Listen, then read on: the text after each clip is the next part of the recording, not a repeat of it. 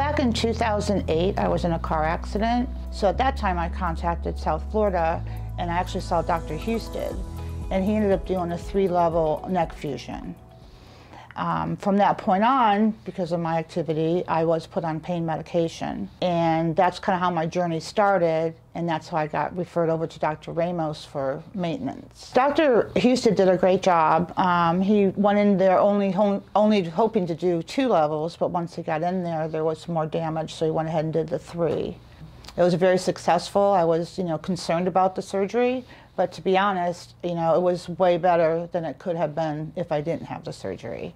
Um, I also recently got uh, diagnosed with lymphedema, which is a swelling of your legs. And I spoke to Dr. Ramos about it. And he's like, you know what, I'm here to help you. Let's get you weaned down.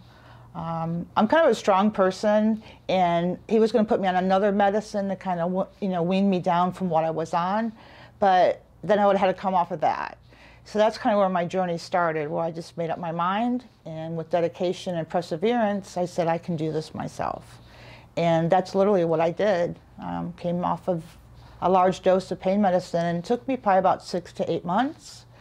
It was a struggle. I'm not going to say it was easy because I was on it for so long. Um, I just started a little bit at a time, you know, kind of breaking my dose in half. Of course, with Dr. Ramos, he was there the whole time, tell him what I was doing. And then another month I do a little more. And sometimes I would slide back because, you know, it was, it could be, it was painful. But eventually, after about six months, I'm off of the morphine. And I actually did it myself. You know, it was a struggle. It just seemed like my um, endorphins or maybe like my thinking pattern, you know, that was kind of the hardest thing is kind of resetting back into that realm. Um, you know, I spoke to Dr. Ramos and like he had said, you know, because your body was on that for so long and, you know, that's part of the process. So I still have good days and bad days. I'm not going to say it's been perfect, but um, you know, like I said, I just I just keep trying and just you know thought of the big picture.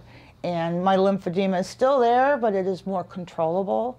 So um, that's kind of really you know most of it. I mean, my pain has increased, but I'm just trying to decide. You know, I may have to go back on something at some point, but it'll never be that dose.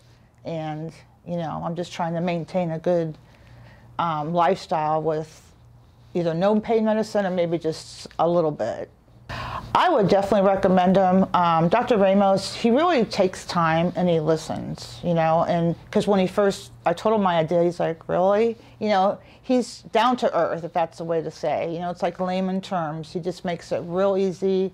You know, even like Dr. Houston, when I first met him, I thought, you've got to be kidding me. You know, he looked like he was 25, you know, and doing that major surgery just like Dr. Ramos. But really, I mean, I would highly recommend him. I've, you know, I've obviously gone on, you know, Google and all that, but I mean, he's really saved my life, in my opinion, and obviously Dr. Houston as well. But Ramos is um, always, you know, very supportive, and you know, it's always like an open door policy with him.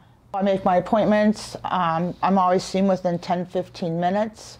I also do use the Port St. Lucie office as well because I'm kind of like, you know, in, in between. And there it's the same way. I've always been, everybody's very receptive.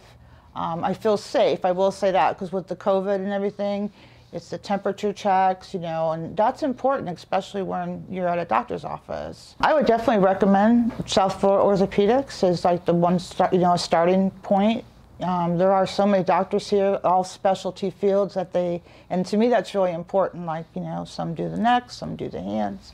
So um, I would definitely re refer them here.